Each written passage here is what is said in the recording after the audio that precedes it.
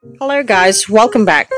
Well, today we are going to talk about the wiper blades for this 2016 Volvo V60. And if you are looking for a wiper blade replacement size for this 2016 Volvo V60, then I have already looked it up. So please make sure to check out the video description below as I will leave the information there as well.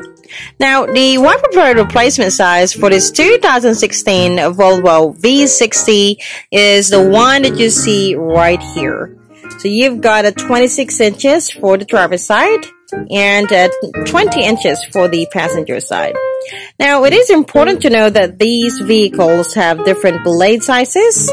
Also, there are many reasons as to you may want to change your wiper blades. And they could be getting old, or you could end up in a situation where you may be caught up in a storm. And the last thing that you want is not being able to wipe up your window.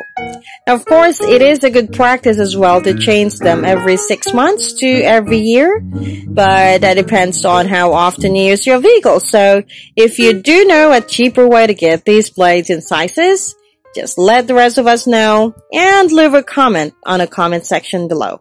Alright, so then thank you guys for watching and be sure to subscribe.